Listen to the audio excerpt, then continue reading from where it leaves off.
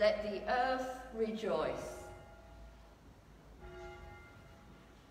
Good morning and welcome to the parish of St Andrew's Hornchurch for this service of morning worship.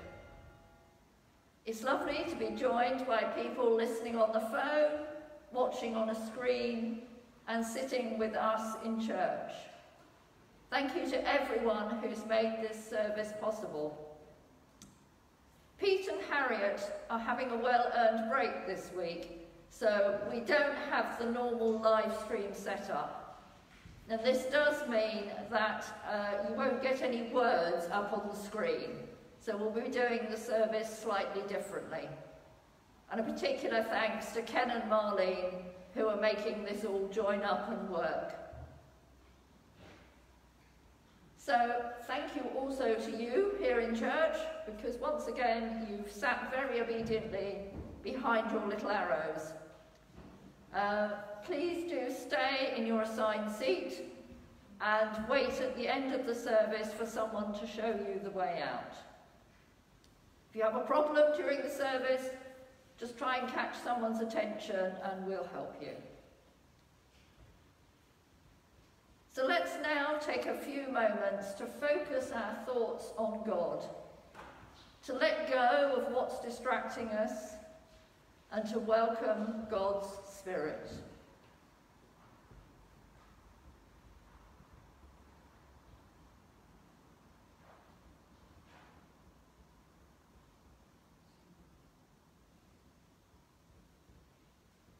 Let us pray.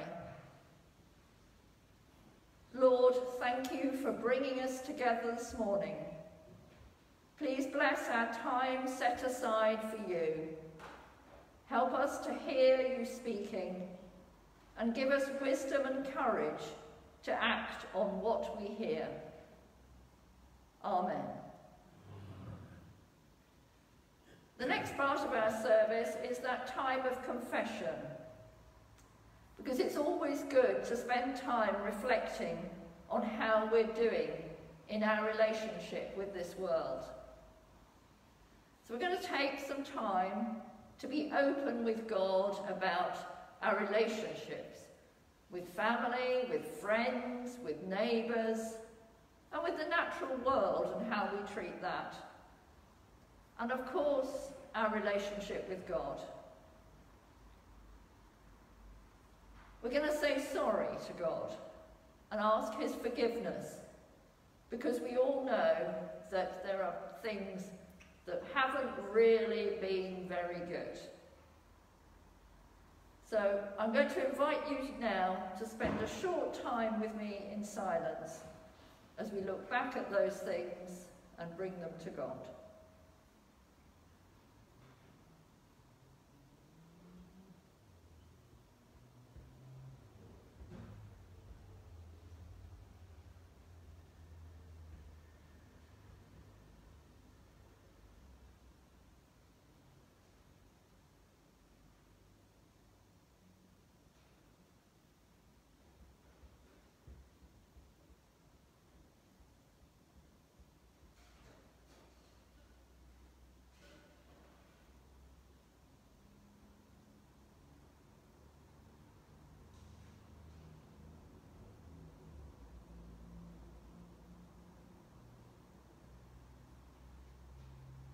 May the God of love and power forgive us and free us from our sins, heal and strengthen us by his Spirit, and raise us to new life in Christ our Lord. Amen. And we'll continue in prayer with the church's prayer for today, which is the collect for the 12th Sunday after Trinity. God of constant mercy, who sent your Son to save us, remind us of your goodness. Increase your grace within us, that our thankfulness may grow, through Jesus Christ our Lord. Amen. Our first reading this morning comes from Paul's letter to the Romans, and we're reading in chapter 12, from verse 9 to the end. And it's called Love in Action. Love must be sincere. Hate what is evil. Cling to what is good. Be devoted to one another in love. Honour one another above yourselves.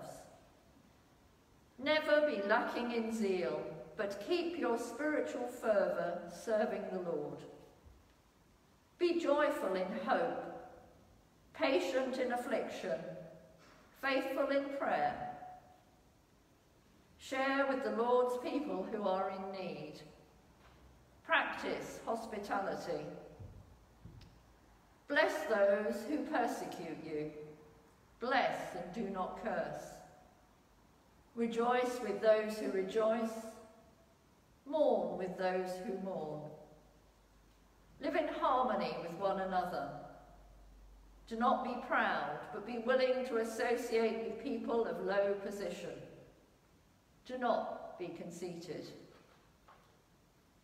Do not repay anyone evil for evil. Be careful to do what is right in the eyes of everyone. If it is possible, as far as it depends on you, live at peace with everyone. Do not take revenge, my dear friends, but leave room for God's wrath. For it is written, It is mine to avenge, I will repay, says the Lord. On the contrary, if your enemy is hungry, feed him. If he is thirsty, give him something to drink. In doing this, you will heap burning coals on his head. Do not be overcome by evil, but overcome evil with good. This is the word of the Lord. Thanks be to God. And now I shall hand over to Carol.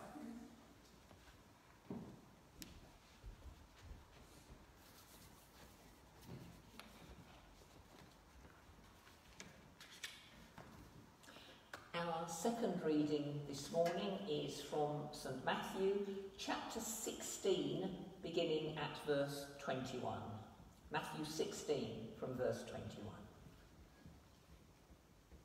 This follows on from last week's reading, where Jesus had asked his disciples who they said he was.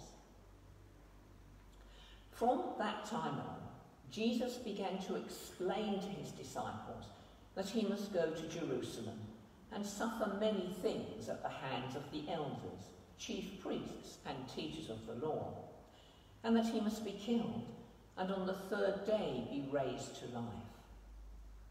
Peter took him aside and began to rebuke him. Never, Lord, he said, this shall never happen to you. Jesus turned and said to Peter, Out of my sight, Satan, you are a stumbling block to me. You do not have in mind the things of God, but the things of men. Then Jesus said to his disciples, If anyone would come after me, he must deny himself, take up his cross, and follow me. For whoever wants to save his life will lose it, and whoever loses his life for me will find it.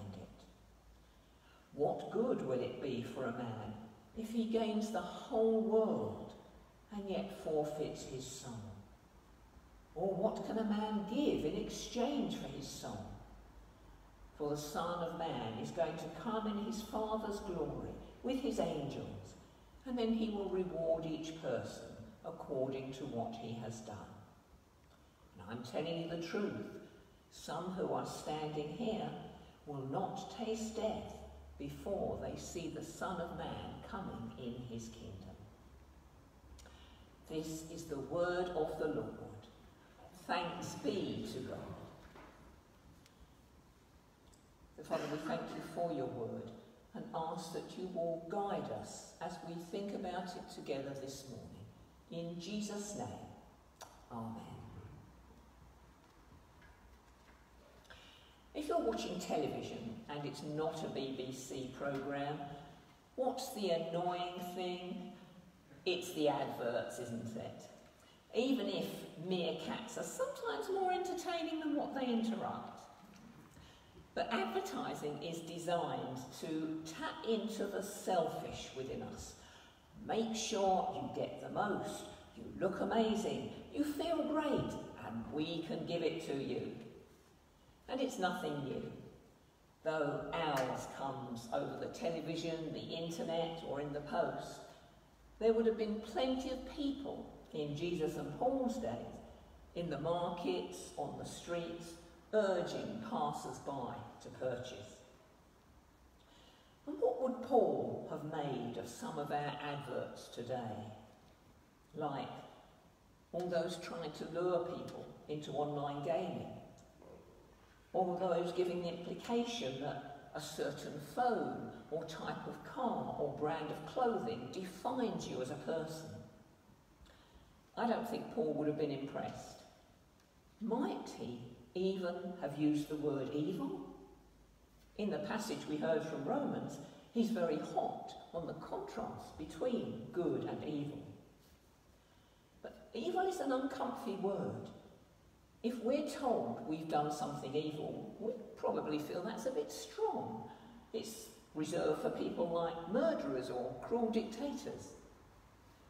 But if you put a D in front of evil, it becomes devil the source of all that's opposed to God. Evil is a reality, and Paul tells us to hate it. And there's another strong word. And he tells us to make sure we're not overcome by it. Because evil is incompatible with the love of God and the life that Jesus has given and called us to. Because if, if you don't believe in God and ignore Jesus and have no concept of his kingdom, then it's logical to make choices as if this life, number one, is all that there is, and living means just getting as much out of it as you can. But even as Christians, we can be lured into that path, one which leads to the things that Paul warns against here. Things like harbouring resentment, nursing jealousies, seeking to get our own back, one-upmanship. And when we do, then we get enmeshed in evil, which consumes and destroys. And it can be so easy. Perhaps I feel hurt or damaged by something that someone has said or done. I go over it in my mind, my possible responses, justifying myself and my feelings. It keeps me awake.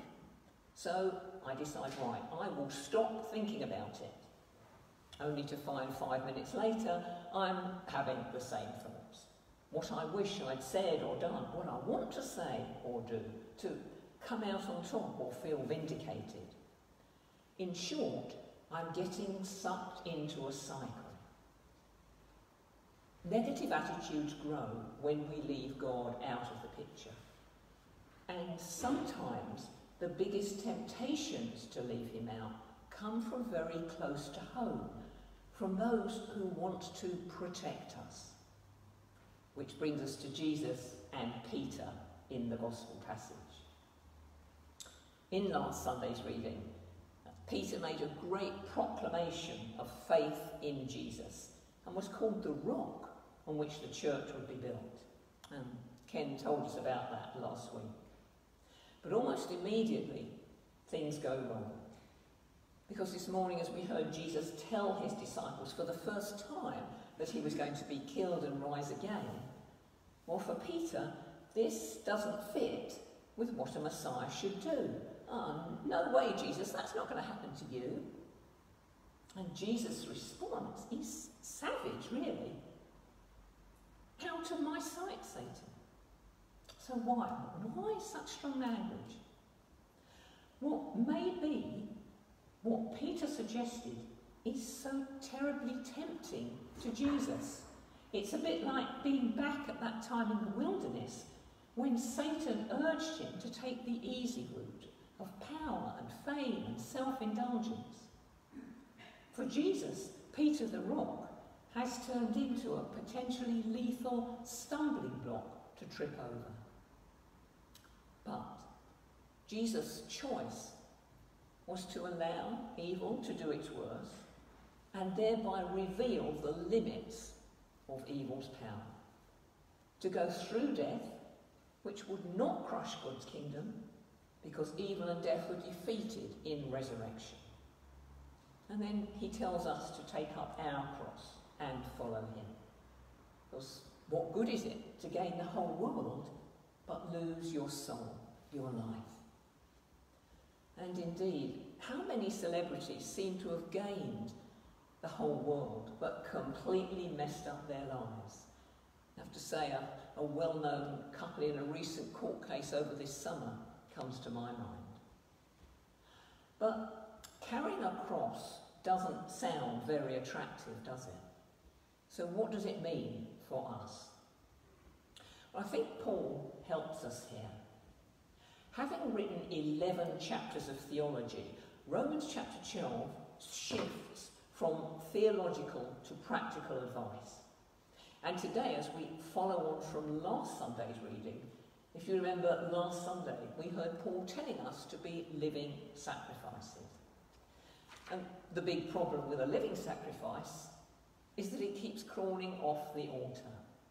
So Paul gives us today the advice about how to get up and get back on by going on the offensive in love.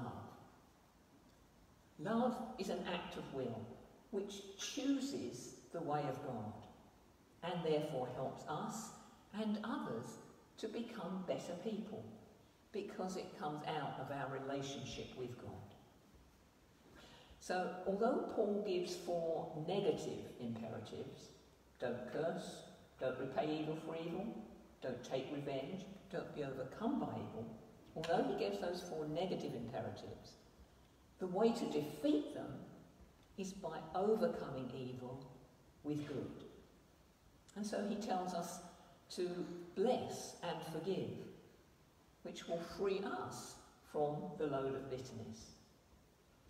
Now, forgiveness is not going soft on evil. It's not saying that it isn't real or it isn't painful. It's not saying that it doesn't matter, because it does.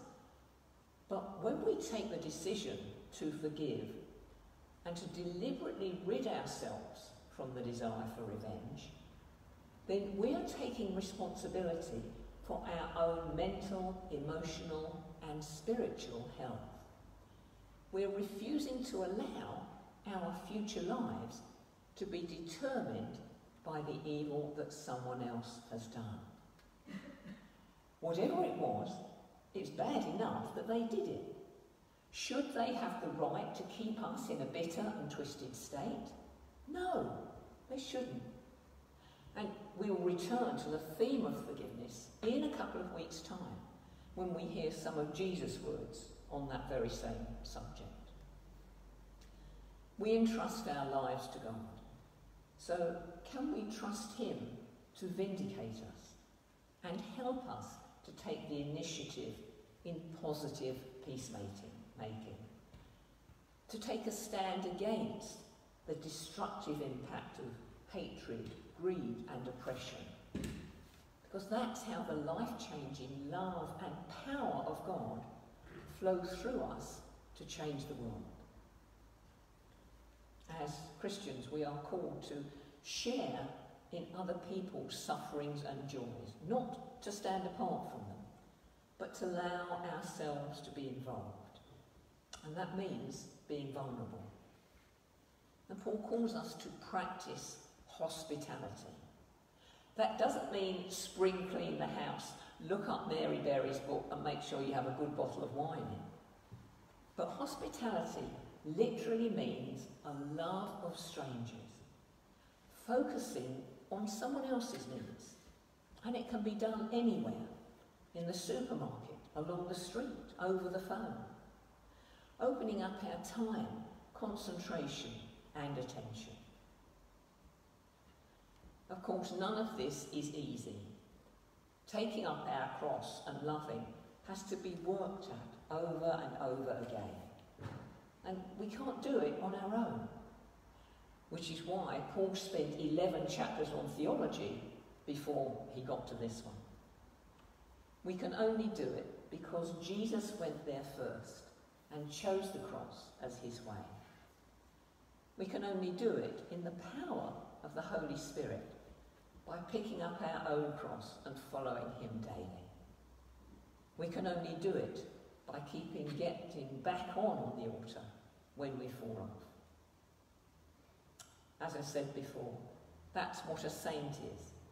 Not a person who never falls and never fails, but someone who always gets up, gets back again, and retakes the hand of Jesus.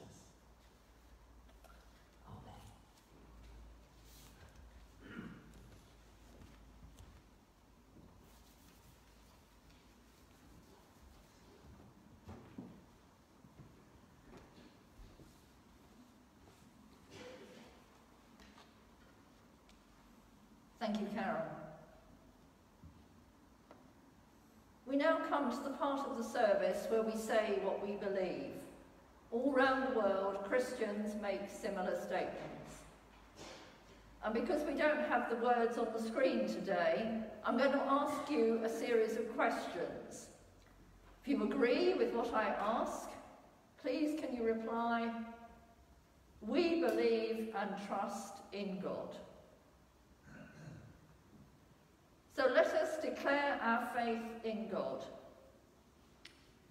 Do you believe in God the Father, from whom every family in heaven and on earth is named?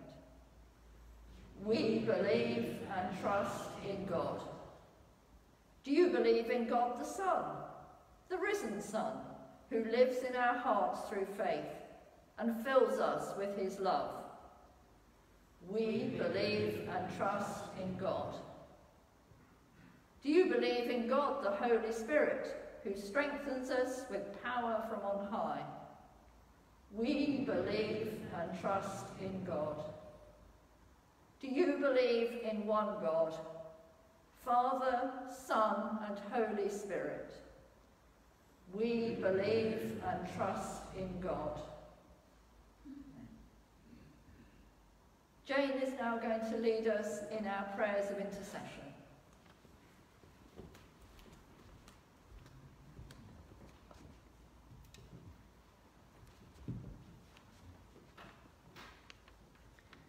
Let us pray, and in answer to Lord, in your mercy, please respond, hear our prayer.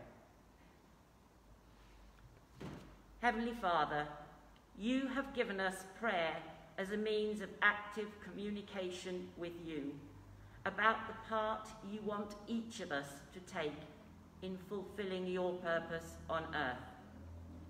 Help us now to be still, pray in faith, and be directed by you to take up our cross. We thank you that through technology and those skilled in its use, we can gather together as a church family to pray and to praise you. And we ask for your blessing on all who pray with us via computer or telephone, now and later in the week. Make us an active community of faithful witnesses to your love. Forgive us when, like Peter, we get things wrong or when we allow negative worldly views to influence the choices we make and help us to become better listeners to your will. Lord, in your mercy, hear our prayer.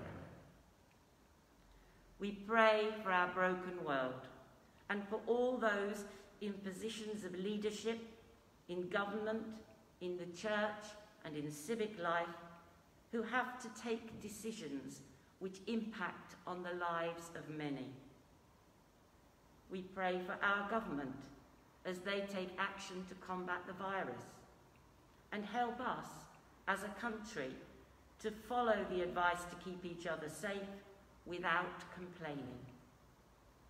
Guide our ministers, Lord, in their responsibilities of choice that they may govern wisely, not for personal gain or status, but for justice, equality, and the common good.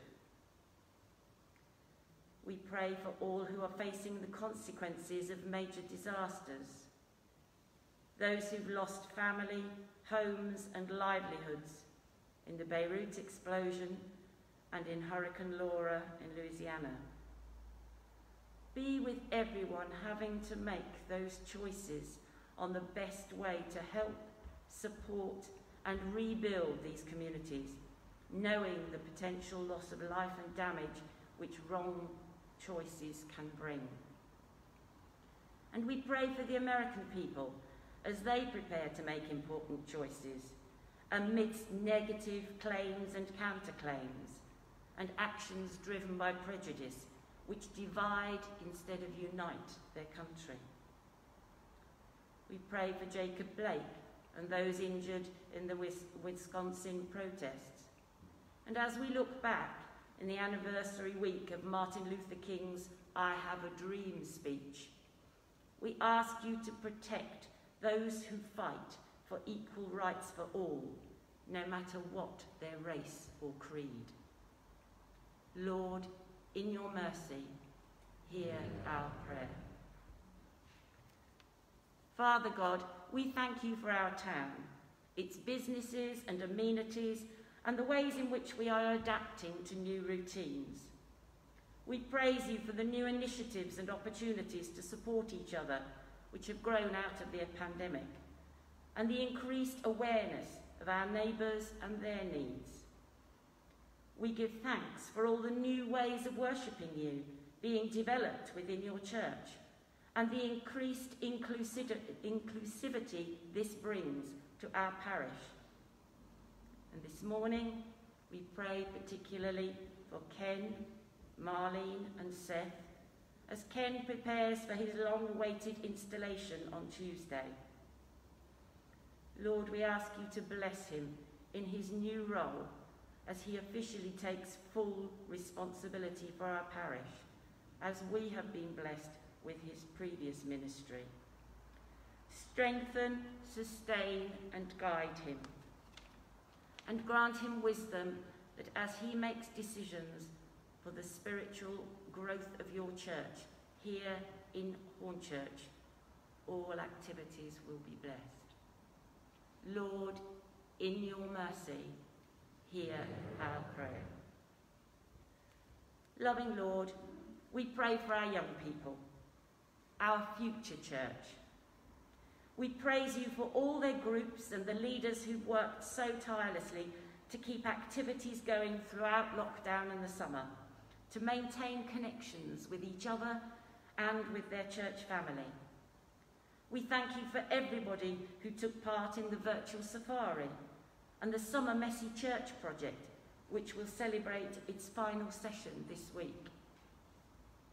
And as they resume their studies, we pray for them, Lord. We pray for the school governors and all who are making decisions about the return to school over the next week. We ask for your protection upon them, all teachers, lecturers, teaching assistants, support staff, all those involved in education who are busy preparing a safe environment in which they can learn. We ask that all students may adapt to new settings and regulations, once again able to socialise and have fellowship with friends.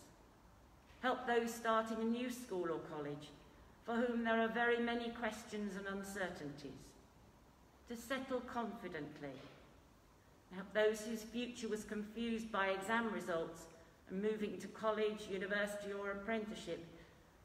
Pray that they may now be able to make the right decisions which can fulfill your purpose for them.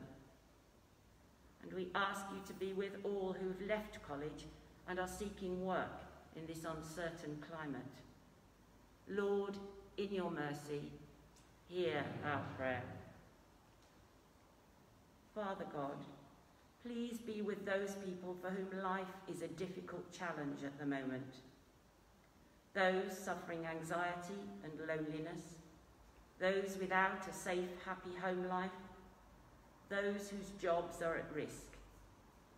Help us to recognise the opportunities you give us to support them and reflect your love so that they may discover and recognise that they are special to you and that you accept all who turn to you. We ask for your healing upon all who are sick in mind, body, or spirit. And this morning, we remember before you all health workers in the various settings who are dedicating themselves to the healing and support of the sick. And in a moment of silence, we hold up to you those we know personally who need your healing grace today.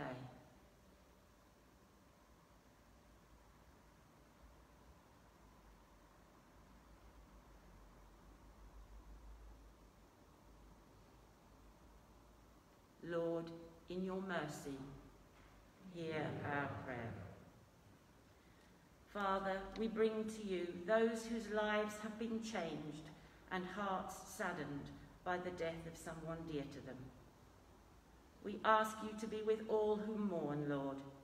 Make them aware of your presence and grant them your peace and strengthen the knowledge that Jesus Christ is the light of the world, a light which no darkness can quench. Merciful Father, accept these prayers for the sake of your Son, our Saviour, Jesus Christ. Amen.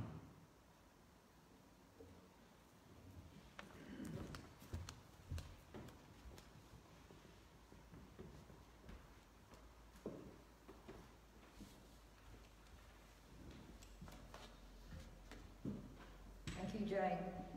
Shall we continue in prayer by joining in the words that Jesus himself taught us, the Lord's Prayer? Our Father in heaven, hallowed be your name. Your kingdom come, your will be done, on earth as in heaven. Give us today our daily bread. Forgive us our sins as we forgive those who sin against us. Lead us not into temptation, but deliver us from evil. For the kingdom, the power, and the glory are yours, now and forever. Amen. We now come to the notices. You might want to get comfortable because there's a few extras today. Uh, Congratulations to anybody who is celebrating something today. Anybody want to volunteer anything? I will check on Facebook later to see, uh, see what's going on, but have a wonderful celebration. And as we talk about celebrations, I have the great privilege to read some banns of marriage. Sure I get this right.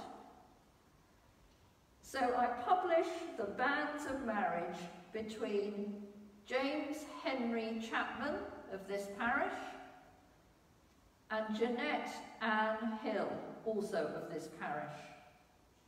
This is the third time of asking. If any of you know any reason in law why they may not marry sorry, well, they may not marry each other, you are to declare it. Good? So, shall we pray for, I've forgotten their names already, I'm very sorry, for James and Jeanette. Lord, please be with James and Jeanette and all couples as they prepare for their marriage. May they know your blessing and your strength. Help them to feel your love strengthening theirs, and grant them joy on their wedding day and in the future they will share together. In Jesus' name, Amen.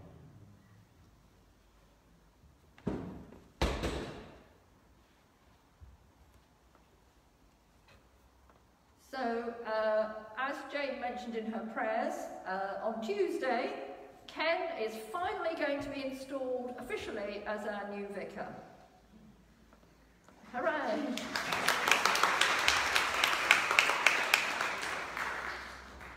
The service will be available online in the usual way. Um, because there are a number of people who have to be here physically, because it's a very formal occasion governed by church law, I'm sorry that attendance actually is by invitation only for a very small number of people in these COVID times. So you'll be able to see everything and if you're watching from home, you won't have a pillar in your way, you'll have a nice comfy seat and we can all pray for Ken wherever we are. The church will be open as usual for private prayer on Thursday. Uh, we're starting at 10 a.m. This Thursday we're going to finish a little bit early at half past one. And this is because we have a wedding that afternoon and we need to get the church ready for that. So this Thursday, 10 a.m. to 1.30 if you wish to come for private prayer. Next Sunday, we'll be back here again for a Holy Communion at 10.15. Again, here and online. So I, have moved all things round in the order in which I'm saying them, now I've got confused. Um, right, Jane also prayed about Messy Church, which has had a wonderful celebration of creation over the summer.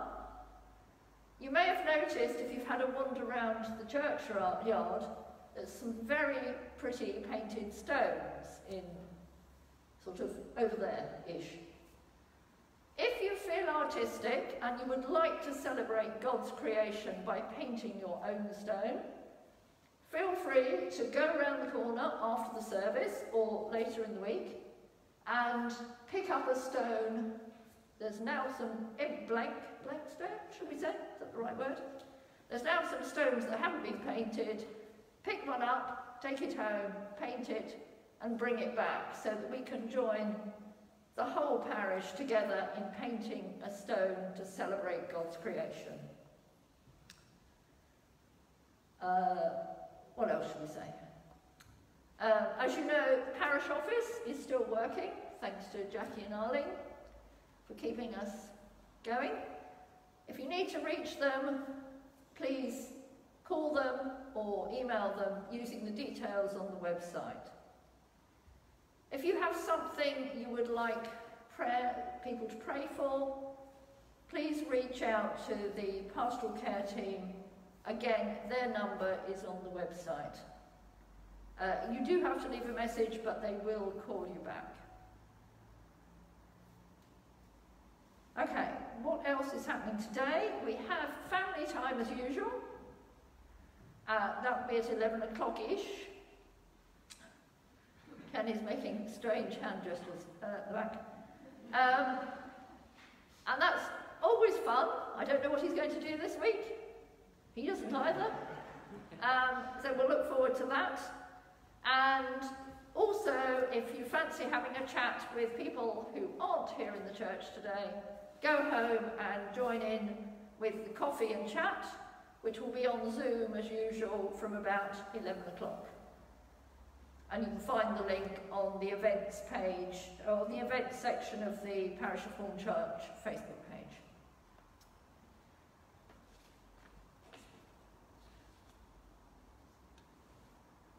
Now you may remember we've had um, a produce stall at the Lich Gate. Uh, I have a note here to say thank you very much for everyone who supported or contributed to that stall which we've managed to raise more than £100, which is brilliant. If anybody has spare produce they'd like to sell to raise funds for the church, please contact um, Jeanette Street or Jane and Mike Harder because we've run out of stuff. So there's nothing today because we've run out.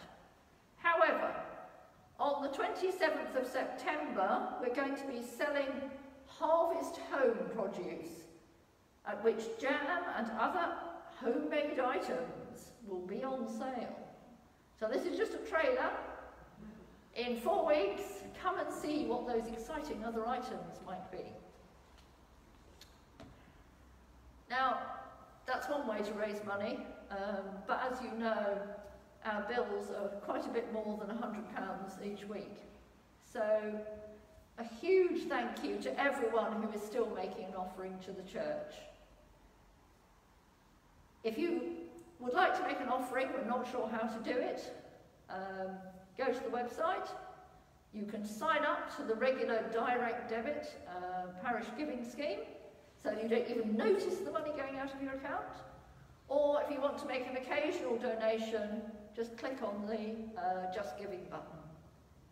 You can send us a cheque in the post. May, please make the cheques out to Hornchurch PCC. If you make it out to anything else, it upsets the bank. And if you want to go old school, there is a offering basket by the exit over there, the north door. So let's give thanks to God for all he's given us.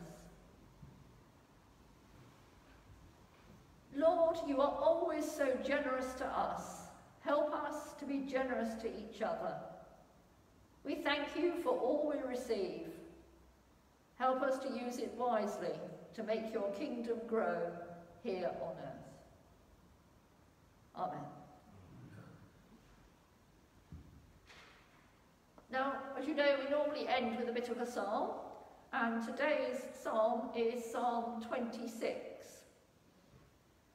Now, I found it a bit of a tricky psalm because the person who wrote it seems to be boasting about what a blameless life they live. But it sort of, well, it definitely does because it's supposed to. It ties in with what Carol was talking about. And my study Bible told me what that should be because I didn't know what Carol was going to say. Um, but it points out in the notes that this blameless life comes because the author trusts in God. Only with God's help can they go against the trends of this world. So I'm just going to read the first three verses. Vindicate me, Lord, for I have led a blameless life. I have trusted in the Lord and have not faltered. Test me, Lord, and try me. Examine my heart and my mind. For I have always been mindful of your unfailing love and have lived in reliance on your faithfulness. And that's exactly what Carol was saying about needing Jesus to help us get back onto that altar when we want to give our lives to God. Before the blessing, um, the usual announcement. Please wait until someone shows you to the exit so we don't end up with um, congestion. Um, I'm going to make my way out first and then the stewards will start to open, uh, sorry, empty the church uh, from the back. I have got my keys this time, so I won't get locked out like I did last time. And we do thank you, as always, for your patience, because I know the people at the front have to wait quite a while. So the blessing. May the love of the Lord Jesus draw us to himself. The power of the Lord Jesus strengthen us in his service. The joy of the Lord Jesus fill our hearts. And the blessing of God Almighty, the Father, the Son, and the Holy Spirit be among us and remain with us always. Amen. So let us go in peace to love and serve the Lord. In the name of Christ, Amen.